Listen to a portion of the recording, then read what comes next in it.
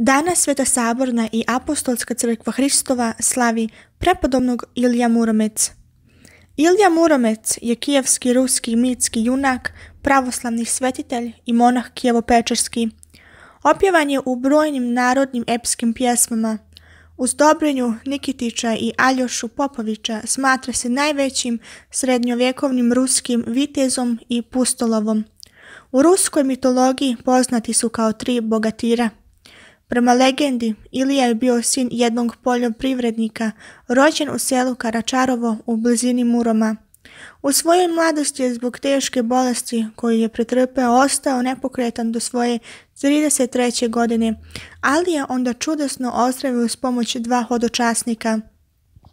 Tada je dobio nadljudsku snagu od viteza na samrti Svetogora, pa je krenuo da oslobodi grad Kijev od idolopoklonika a u službi knjeza Vladimira I. Velikog usput je potpuno sam branio grad Černigov od invazije Tatara. To je ponudio svoje usluge viteza lokalnom vladaru, ali je odbio da ostane. U šumama Brijanska je ubio čudovište koje je tu bilo nastanjeno, koje je mogao da ubije putnike svojim moćnim zviždukom. U Kijevu Ilija je knjez Vladimir proglasio ruskim vitezom i on je branio Rusiju od brojnih napada ljudi iz stepe, uključujući Batu Kana, mitskog cara Zlatne horde.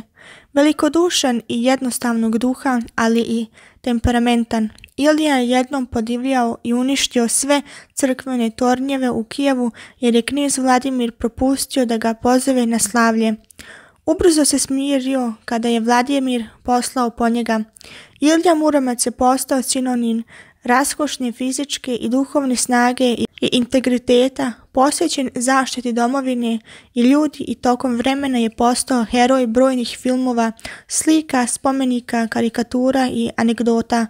On je jedini epski junak kanonizovan od Ruske pravoslavne crkve. Po hrišćanskom vjerovanju Ilijine mošti su čudotvorne. Na njegovom desnoj ruci su dva prsta sastavljena za molitvu, što ukazuje da je umro moleći se, a kao godina njegove smrti se navodi 1188. S praznikom. Amin.